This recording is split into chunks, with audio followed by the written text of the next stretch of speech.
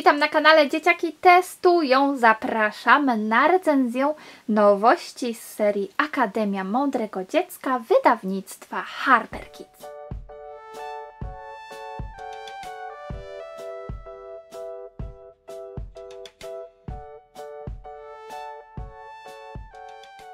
Wiecie, że kocham tę serię. Jest to zdecydowanie jedna z kultowych już serii książek dla maluszków. Charakteryzuje ją tęczowy brzeg.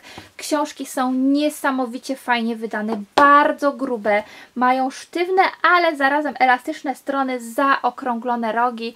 Wszystko jest tu całkowicie bezpieczne dla najmłodszych czytelników, a poza tym książki mają dziurki. Te akurat mają dziurki, aczkolwiek w serii Akademia Mądrego Dziecka są też książeczki inne i bardzo dużo książek z tej serii na naszym blogu już było. Zachęcam Was do przeglądania poszczególnych recenzji. A my się dzisiaj skupimy na tych dwóch nowościach. Może zaczniemy od książki, która już stała się naszą ulubioną, czyli ja i moja mama. Mamy tutaj historię dwóch koali, malutkiej i jej mamy i bardzo skradła nasze serduszka ta historia, zresztą zobaczcie, jest tu przepiękne serduszko.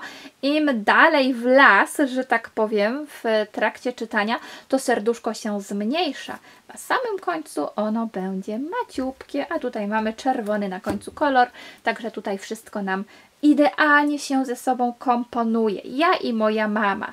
I poznajemy tutaj rodzinkę, właściwie mamę i córeczkę. Mama opowiada, że kocha koale nad życie, od kiedy tylko poczuła jej serca bicie i możemy tutaj śledzić perypetie mamy i córeczki. Nie zawsze jest wesoło, bo koala się tutaj wywróciła, ale mama oczywiście pocieszy e, swojego małego brzdąca.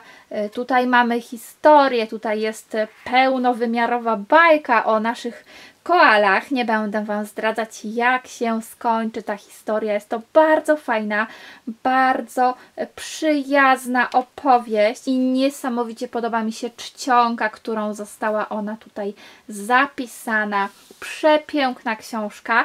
A druga nowość z tej serii, czy to jest moje? Tutaj też mamy, zobaczcie, dziurki. Są to zdecydowanie książki z dziurką. Można sobie, dziecko może w trakcie czytania wtykać paluszki. To jest niesamowicie fajne urozmaicenie dla maluchów.